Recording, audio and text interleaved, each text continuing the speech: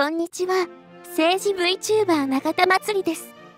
営業利益が55.6%減ったサムスンですが、輸出優遇措置撤廃されたフッ化水素をどうやら韓国産で賄うようです。今回は韓国メディアのニュースと韓国国民の反応を見ていきますね。皆様、いつもコメントありがとうございます。それでは、最後までご覧ください。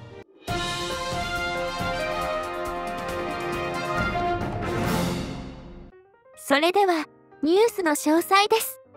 サムスン電子が半導体の製造工程で、フッ化水素の一部を日本製ではない、韓国産品などに代替したことが分かった。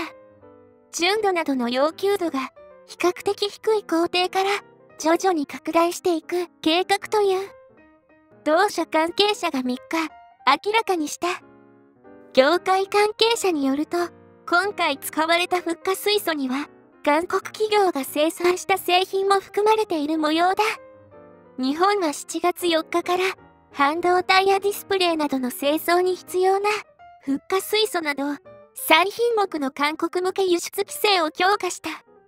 サムスン電子は日本の輸出規制強化の直後から日本製フッ化水素の代替品を求め、国内外の製品のテストを進めていたが、業界では、代替品を工程に使用するには、3から6ヶ月程度の時間が必要と見られていた。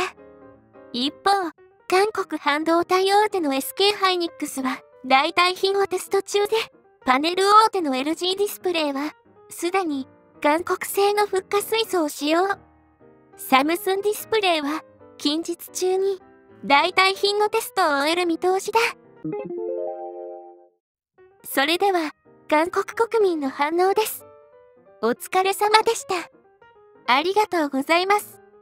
日本の経済的植民地から出しよう。やはりサムスンだね。完全に代替して、日本に半導体を輸出規制しよう。時間の問題だ。私たちの中小企業を無視するのか？日本の中小企業動産は時間の問題だ。どうでしたか？サムスンは日本産フッ化水素を諦めて韓国産に切り替えましたね。ですが、以前の動画コメントにもありましたが、12-9が作れないと仕方がないということは、すでに幅広く知られていて、粗悪な品で代替するのですね。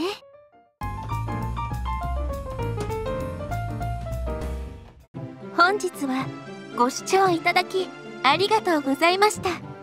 ぜひぜひコメントください。チャンネル登録、高評価お願いいたします。また次回お会いいたしましょう。